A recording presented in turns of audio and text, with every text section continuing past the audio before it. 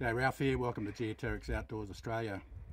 Done some hikes in the past and noticed when we've come back after we've set a walk or a hike that we've had different distances that come back um, at the end of it and wondered why.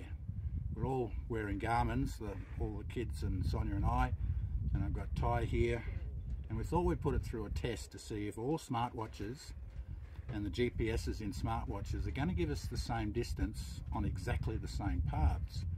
And this is a short little video to show you that not all GPS modules are created equally. Tyrone's got a brand new Garmin Fenix 6X. I've got an older model 6X and Sonia's got a Vivoactive 3. And just to, uh, to give a bit of comparison, I've got an old style um, it's a Hacom uh, GPS antenna here which I synced up to the phone uh, and use the Topo maps but this is a GPS unit, just an external unit. Let's see what the results are for a reasonably short half a K walk.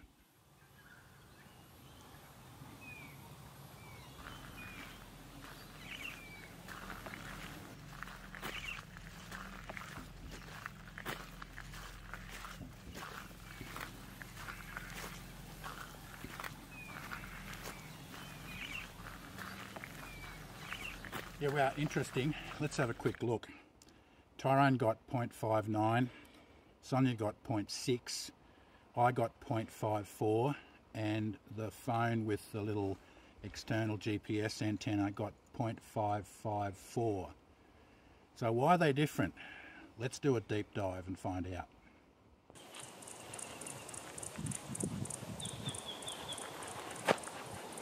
All right, for another hike today thought I'd share with you the, the deep dive that I've done. It's not just a, a, rabbit hole, it seems to be a rabbit warren. There are thousands of sites out in on the internet, YouTube, um, various other social media sites. There's actually websites that are dedicated to, to GPS and the information behind them. I'll put a couple of links in the description from the two that I found particularly useful. And one in particular that had a table with the various brands of smart devices and how much they on average are either above or below the distance that, um, that a, a, proper GPS will give you. Very interesting. Anyway, what have I found? So look, there's four major providers. There's the GPS, which is Global Positioning System, which is run by the US government. There's the European system, which is Galileo. There's the Chinese system, which is Beidou, and then there's the Russian Central Asian, which is GLONASS. And all four of those are, have got lots of satellites, 24 to 30 odd satellites in orbit at any one time. And in our particular area in Australia, we need a minimum of four, but there's generally eight to 16 in the sky at any one time that we can actually get a signal from. So how does GPS work? It's actually a constant signal from a satellite or a number of satellites and they beam down data which is time and location. So the receiver software on your smart device receives that information from a minimum of four satellites and converts it to um, Cartesian data which is often then converted to lat and long. I can have a number of configurations on my on my watch as well as my smartphone and uh, a few other bits and pieces. So the big question is why the difference? Quite a few factors can alter what data you get on your phone to what Sonia's got or what Tyrone's got or anyone else for that matter. Some of those are signal strength. Signal strength because of the various geometry and location of the satellites, the further they are away, the longer the signal has to, to get to you. There's also physical things like trees. Have a look behind us. We're walking through trees, leaves, buildings, bridges and various other things. And there's some that are a little bit out there, something, things like um, radio interference, especially in Canberra. If you're walking around Black Mountain, you can really get some distortion happening there and that's where we noticed uh, uh, the biggest differences. And solar flares and various other ones. Look, this isn't uh, a video about the complexity of GPS. This is just simply to, a little little fun experiment here.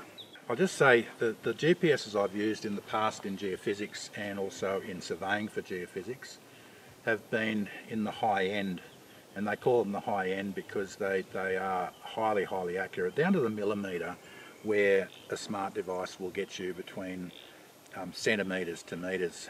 On the GPS.com website um, they specify 4.9 metres within 4.9 metres of accuracy. In the old days they used to alter the signal that only the military got the accurate GPS and all the rest of us got uh, got pretty crap signal. Um, but the, the high-end ones have usually got two receivers.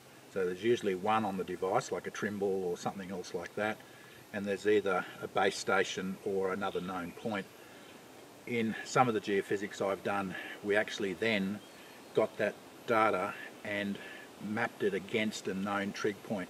That's how accurate we need it to be with this sort of stuff. So in short, there's lots of factors that can affect the accuracy of, uh, of a smart device.